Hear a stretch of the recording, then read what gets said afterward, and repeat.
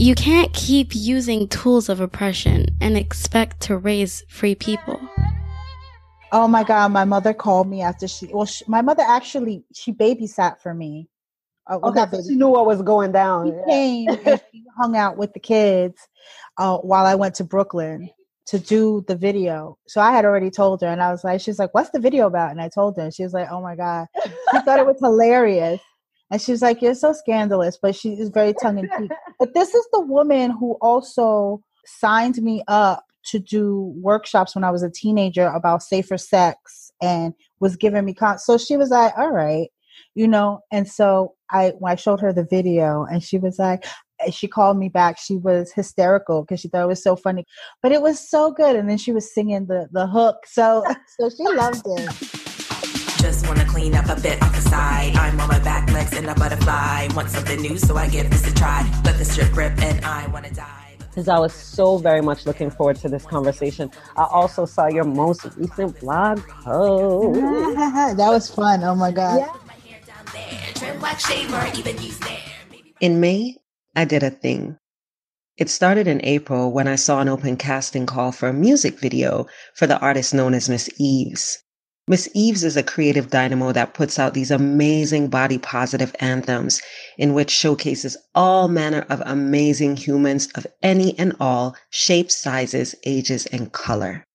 Society may have a hard time seeing women in anything more than one dimensional tropes, and I may not be able to slay those tropes in society single handedly, but I can do it at home by showing my children I'm not just mom. I'm a layered, complicated, intelligent human being.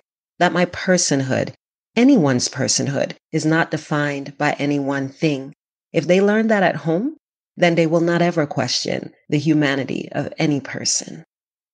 Alicia Lucas. Thank you, thank you.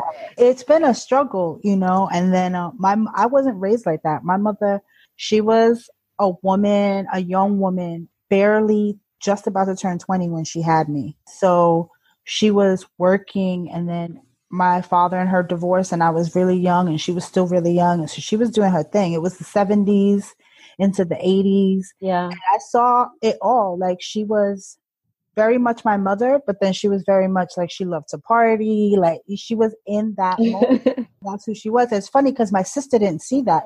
So when my mother tells stories, she, my sister's 15 years younger than me. She's so she's a grown woman, but still, when my, when my mother tells stories of like the things that she did in the past, a lot of them, like I was like, oh yeah, I remember that, and my and my sister's like, pearl clutchy, like mom, and I was like, girl.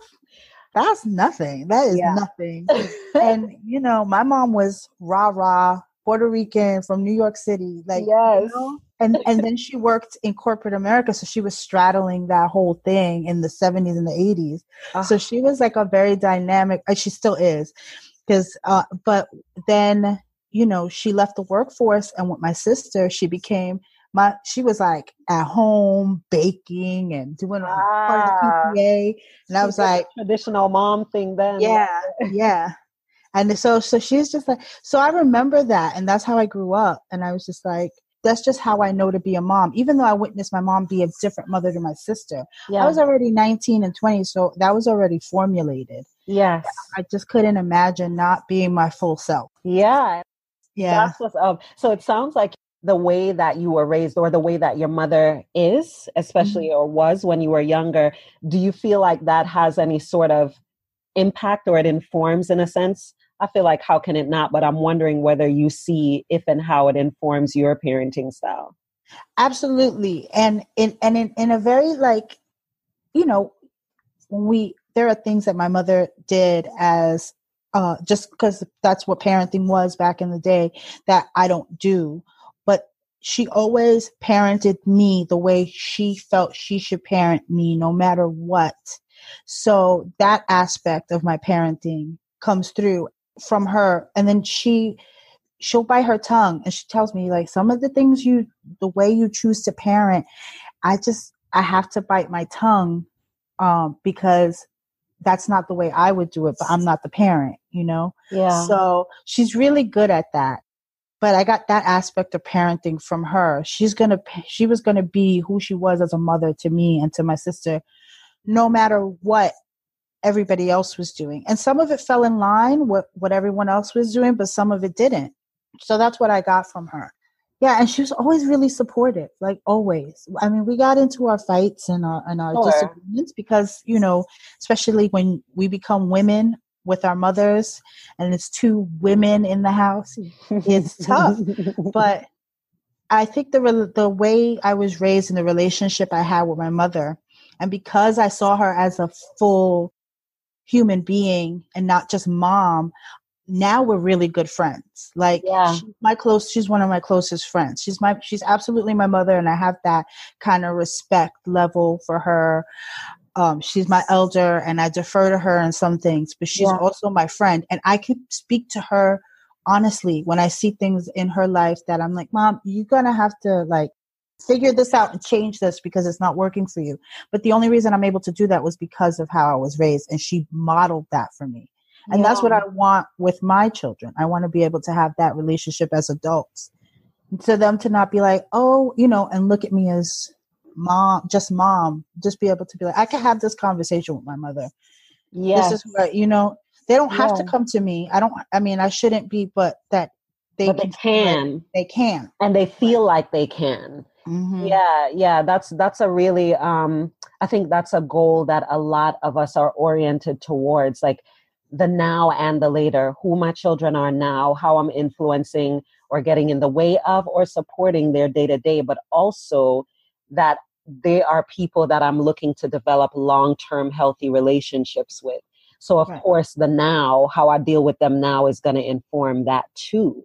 Right. And, and I feel like a lot of times we don't we don't really see that, Alicia. Like we're so focused on you know what we can do for them to make sure that they're good in adulthood whatever that means mm-hmm. that we kind of trample on so many of the aspects of them now with that thing in mind you know you're, you're looking so far past who they are now over to who they could possibly be right. and I, I always use the analogy of like if my partner if chris was like you're such a great person but man if you got this when you get this degree or when you then then you're going to be great like that's how we approach them now, which I think is a part of what makes it so hard for some children to talk to adults about the specific things that are happening. They don't feel like they can come to us because right. we don't even see them. We're seeing who we think they could possibly be. Right, right. We're not coming at them with like this is the person in front of me and accepting them as as you come, you right? This is who you are right now.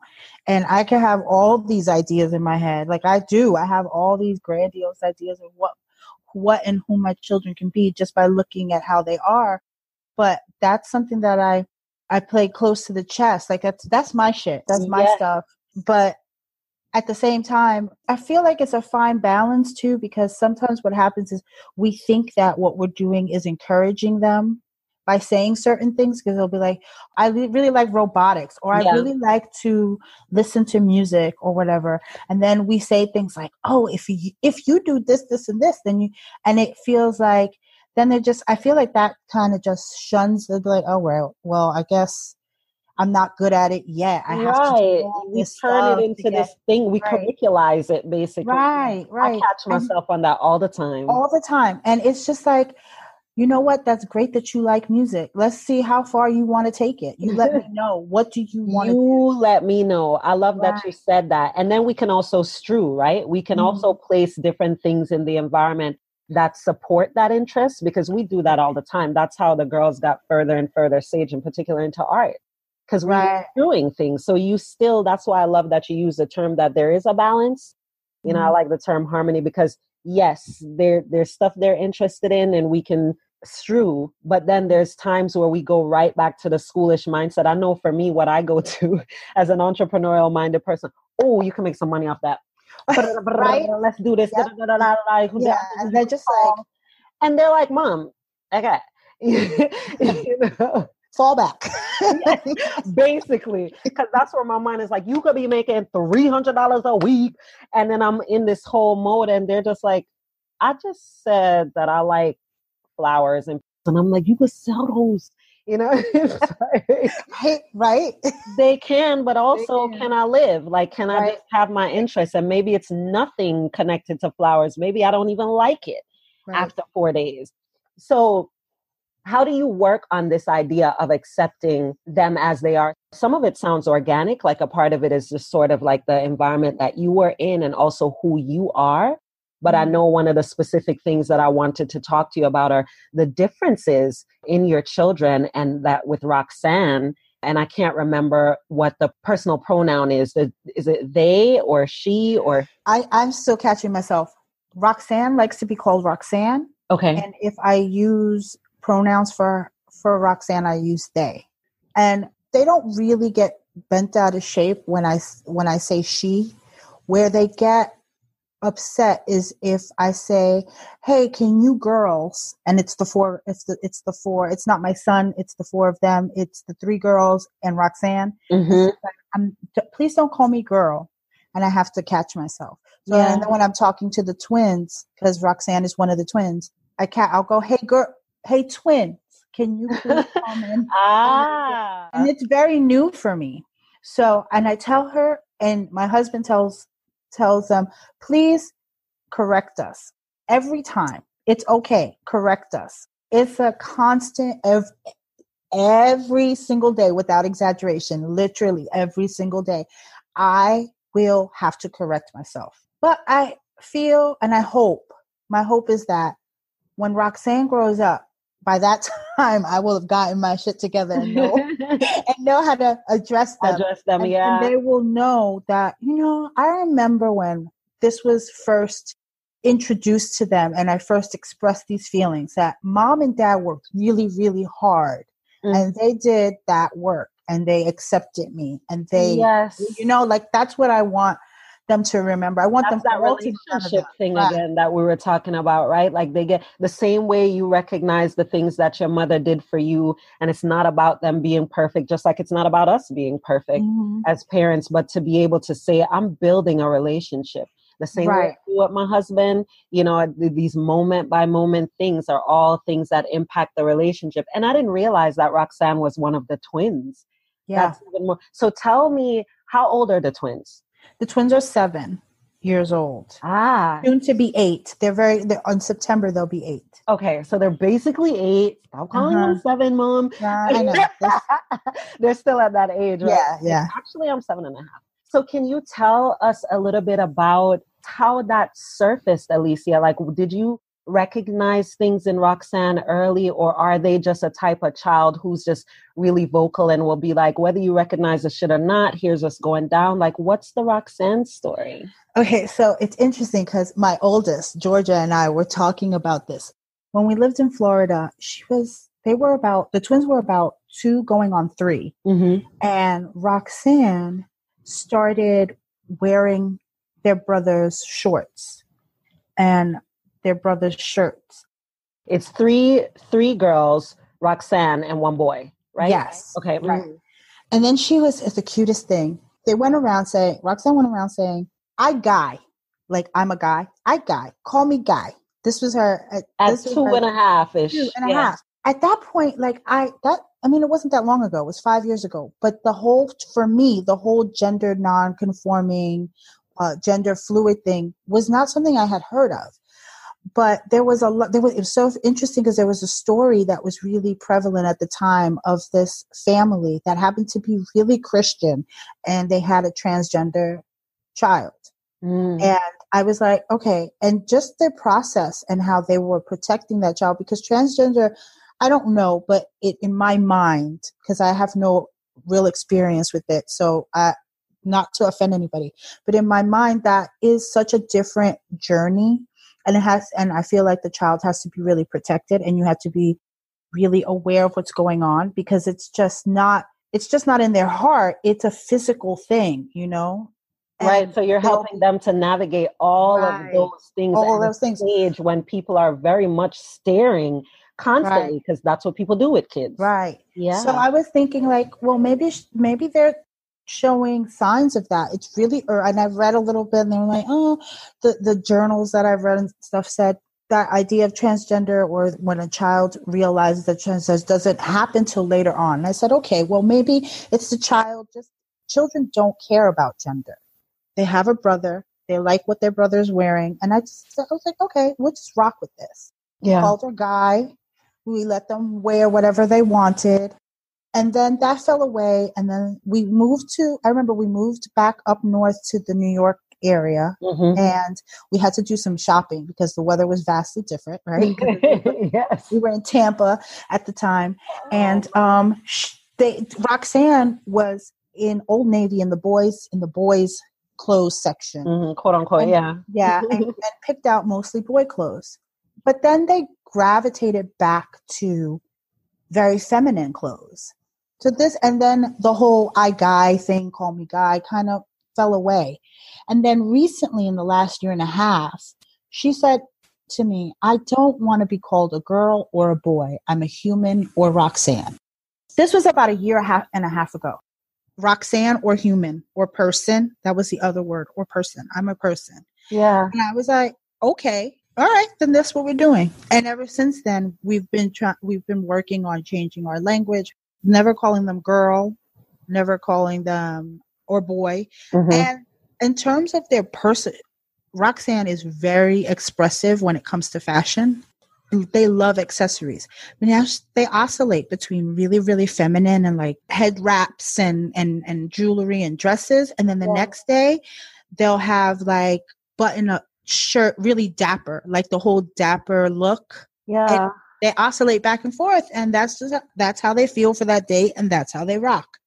That's and- so interesting to me because I, it it just feels you know outside looking in like a level of access to authentic self-expression that many adults don't have like understanding that you want to show up a certain way and then doing something about that Mhm. that that's amazing yeah, Yeah. so you and your husband are observing this and is he it, was he in the same space as you right away of like okay let's see what support looks like because this is our kid or Absolutely. From that time in Tampa on, I couldn't be married to anybody else. I said, you know, I just I couldn't have a partnership like this with anybody else because we get each other and we see eye to eye. There's never uh, let me sit down and discuss this with my husband and to get him on the same page. You know, he's aware. We talk about what's going on with the kids because he he works outside of the home, so things happen during the day that we discuss afterwards. Yeah. You know, and then but he's never been he's always been like all right this is what we're doing this is my kid and he was raised very much in an um, environment like that that his parents were very much like i'm very very fortunate because my mother-in-law my father-in-law passed away but he was the same way um, my mother-in-law is very much the same way in that sense that's wonderful yeah so i don't have to explain any of this like um you asked earlier about the video my not even to my mother-in-law and and when it comes to like the kids and how they identify and about who they are i don't have to explain any of this to my in-laws or my mother like it's Mm. not that's great. You know that and i know No, you know that. yeah. I- explain it to them in that it's a new concept for them. They're like this is very all they're very honest. It's a little weird. I don't know. For me it's a little strange because it's always been a boy's a boy a girl's a girl. And uh, specifically with my mom i had that conversation. I said well has it always been like that or is it that there was no space given to people I feel like what you see as all brand new is not that. It's always been there. It's now that we are able to give space to that.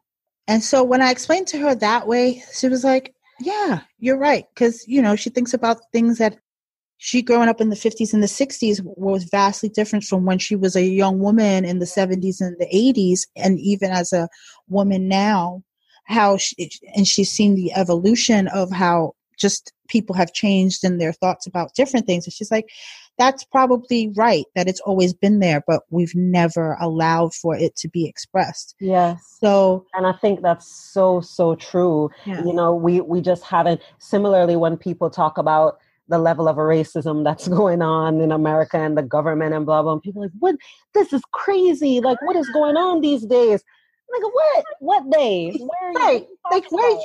Where have you been? where have you been? What I don't understand. Like, Right, like- not like- any adults. You older than Mhm. you. Like, Right. what? Right. So this sounds like it's right in alignment with that sort of thing too, where we know that. I know for me, coming from Jamaica to where you know it's still, I believe that it's still illegal, but I know that certainly it's not culturally accepted. And then Jamaica is so much smaller, so the impact is a lot more direct and severe. And you do have a lot of prominent people who don't fit the, you know, gender or sexuality norms, but you better be prominent, you know, so that you can Mhm. be safe. And even then, and so I, it for you as a Puerto Rican, you know, as we talked about that similarity in terms of the Caribbean thing, it is such a blessing because my partner is also very with our daughters so far it hasn't been about like gender but there are all these other weird things that they have where chris and i are like okay so what does Mhm. that mean what do we say what are, you know like how does this work we're work we're learning with them like the Right. whole family is unschooling and deschooling and learning and growing and it sounds like that's what's happening in your household too Yeah, and which is interesting, and he'll talk. He talks about that. He's the the, the culture of uh, Black Americans and, Black people in general, like in the Caribbean and stuff. The culture that is like steeped, unfortunately, in homophobia and misogyny at times is so toxic. and how this is a space i'm so happy that my children have a space where there's a, a, a man uh, there there's a black man that is modeling the way as to not be that way it, it's not it's like it has to be an issue because the whole we have to prepare our children to navigate the world Mhm. we have to help not even prepare them we have to help them try to figure out how to navigate this right right Um, themselves in the world yeah. themselves, right? And Mhm. so we have to be that pillar and we have to be we're not at the point where they could just go ahead and tell everybody who they are and how they are. Home needs to be that place. It really does. The show notes page for today's episode is raisingfreepeople.com forward slash 86. Be sure to go there to check out today's guest's contact information as well as some resources related to this topic.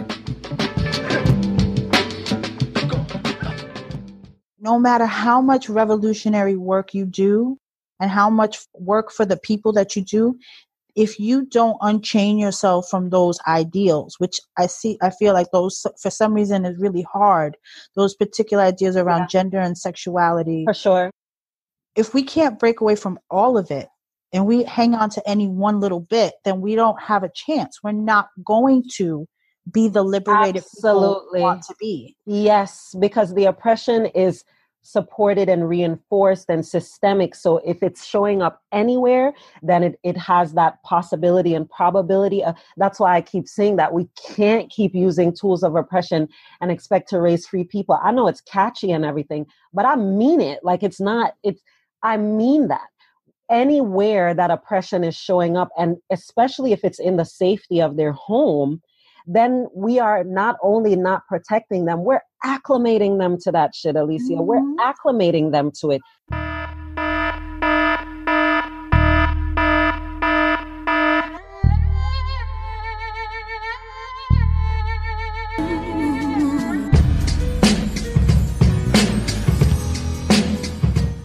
Right now, what does safety look like for them and for you and for your partner and for Roxanne's siblings?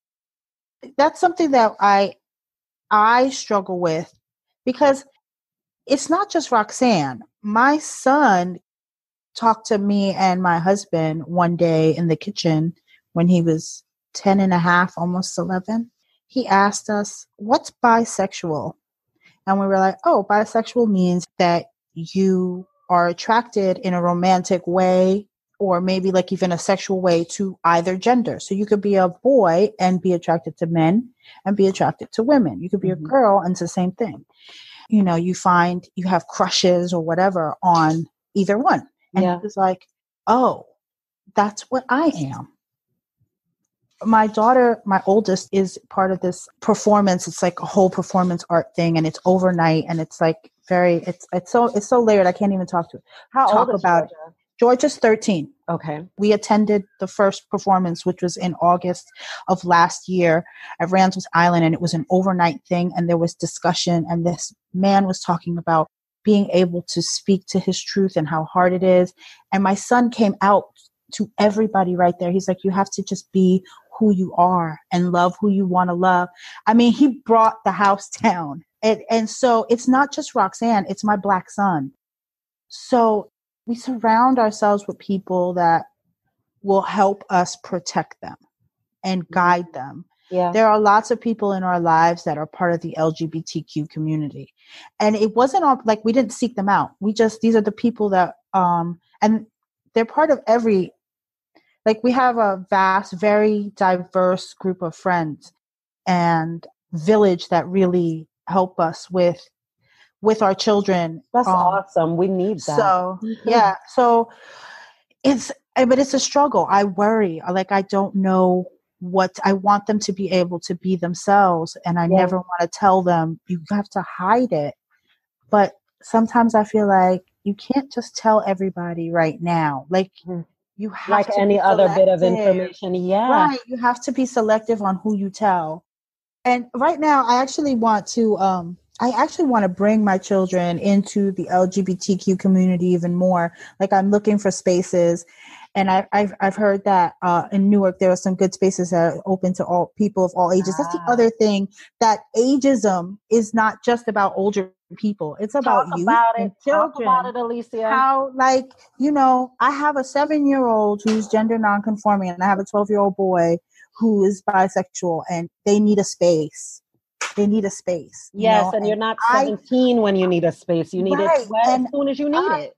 i am not a part of the lgbtq community i don't live that i don't they're my children and i want i need other people i, I need to outsource that i need help Yes. so that's i'm trying to you know i'm trying to find they can get mm-hmm. mentors on this road because there's going to be things that they're going to go through in adolescence that I'm not going to be, I might not be, I might not, maybe I am, I don't know because we haven't gotten there, but I may not be equipped to deal with. Yeah. And I want, I, I want people there for them. Like Of I'm not that, I'm not that, you know, parents can be very like prideful in that way. Mhm. If nobody else can raise my kids or help in any way other and than none me. of us can do that that's that's really unfortunate i think when i hear that it makes me sad because it does take a village and as wonderful as you can be as a parent and as deep as you love them they're just things just personality life experience wise that other people can give them that even if i could give a little bit it's going to be way better coming from auntie whoever or cousin whoever or right. neighbor, blah blah and i i want that i want Right. that for them because that's how you that's to me how i can give my kids the world Right. So we don't Right. have a lot of money we don't have those things but we we are able to give them so much because of the communities that we cultivate and the relationships that Mm. they end up cultivating that ain't got shit to do with us but Right. it's helping us because Right. because they're growing from it Right. And I also I feel like I need a mentor because I, I i was going to ask you that yeah I need a mentor in this. Like I need somebody to tell me, listen, you can't that that's not how you say this, not how you go about this. Because I may be thinking, I I'm so look how woke I am. You know? because dot dot dot. And yeah I, I don't want to say anything out of pocket. Like it's gonna happen. Like I'm not th- trying to be perfect. No, but I get what you're saying. Like, why not mm-hmm. educate yourself and why Right. not have that support? So, are there want not? Have you looked at support groups like parenting support groups online or like? I haven't looked at parenting support groups because I, you know, sometimes I forget that I, I should look at support groups for myself. I've been looking at, there are places that I just haven't gotten to, like our schedules have been such. And now over the summer, I think I want to just take them to the spaces and, and introduce them. These are my kids and this is who Yes. we are and this is my son and this is my, my Roxy, you know, and we're just looking for, you know, a community where we, they can, they can talk to people like them you know? But i and i feel like i probably could find support, Yeah. and a community where i could go and speak to people um, that are parents that have have navigated this and can exactly. And they will probably know some of the spaces too, or maybe, Right. hopefully. know Right. some of the spaces where you Yeah. know where they can be. and it's it, it makes it difficult because I have five kids, so we run thirteen to seven years old. Oh, So I do not. I, a lot people are like, oh, you're not part of any co-op. Um, we I are. I have we are a co-op, and part of that is that it's they're, they're segregated by age, and if that's too much, foolishness. Yeah. you know, and it's like logistically, if I get yeah. one set of kids to something, Where are you going to put the other kids- ones? right, then we lose out, and the kids don't have time to do. They're they're busy being bored as I shuttle the other kids. Yeah. And You it's know, so and ridiculous because we know that doesn't make sense because as adults, my friends vary. I'm 40. My, some of my friends are in their late 20s. Some of my friends are in their mm-hmm. 60s. Right. You know, a lot of us don't even know each other's actual mm-hmm. ages. We just know, you know, by other cues. Right. So, like, why? It's just ridiculous. And all this stuff is supposed to prepare them for adulthood where Right. that happens. Yeah, and and it's and it's really frustrating in the homeschool world. So I, I I've done I've done work in making my own thing and putting together my own thing. Like for instance, there's this place called the Newark Print Shop. It's amazing. I love them. They are all about the, the art of printing, like I think I saw that on your Instagram. Yeah, yeah. Yes, yeah. Yeah, and um, I went to them about a, a homeschool print club because they do a print club for the whole commu- community, all ages. But I wanted more. I'm not an artist, and this was a way to get them into an art class, and they were like really interested in it. We Mhm. visited the print club on several occasions. So I got together Newark Print Club, and it was from ages five to thirteen. And they were all in one group together, and they Yeah. all did the same things, and they all learned, and it was all challenging for them. You know of course the older ones were a little more intricate but it's it, they all learned the same. And you know it was the best and um we're hoping to continue it. Right now let me let me let's say this they they are being uh asked to leave the space that they're in unfortunately Oh, mm. and so there might not be a homeschool print club for the fall because they'll be in the middle of trying to pack all the equipment. They ha- they're trying to find a space. So if anybody listening in Newark knows a space that they can use that's affordable, contact the Newark print shop because it's an important aspect. and I'll make sure that we put that on the um, show notes page too. Yeah. And we're hoping to continue it as soon as we can again. And um, Good. yeah so those are the things that i think about. I, you know what? I put this out into the universe. When i first started listening to you i was like i am going to meet Akilah. We're going to talk and we're going to have these great conversations. And here we are. So Clearly. i have uh at brick city homeschool is my homeschool instagram. And I want to make sure for folks listening, resources around parenting and community for gender nonconforming or you know LGBTQIA folks and families. Send us some resources if you're aware of things that are digital or Jersey based. yes Let us know. i would love that Thank you, Alicia. thank you Don't forget resources, connections, all that good stuff. Raisingfreepeople.com forward slash 86. Join me again next week. I'll be talking to a couple folks about independence, actual independence. Um, and we're also going to be catching up with Moji on episode two of Wellness Spiral. She's also giving out a few invitations to us for the Wise African Women Retreat next year. Yeah, yeah, yeah. So make sure you're listening. and I appreciate you listening this week. Shout out to Alicia. If you didn't realize, you might have heard Alicia. She was actually on episode, was that 81? As a part of the Homeschoolers of Color Collective, the event that she had with Takesha and Shanice in Jersey. That was on May 24th. Yes, it was episode 81. So be sure to go to raisingfreepeople.com forward slash 81 if you want to hear more about how Alicia gets down in community, if you haven't already, with um, Takesha and Shanice in New Jersey. And of course, you can reach out to her directly through the contact links on the show notes page. Talk to you next week. Enough love. This podcast is sponsored by brilliant, liberation minded folks who are actively challenging privilege and power in their relationships with children and education. I invite you listening to join us over at patreon.com forward slash Akilah for as little as $1 per month.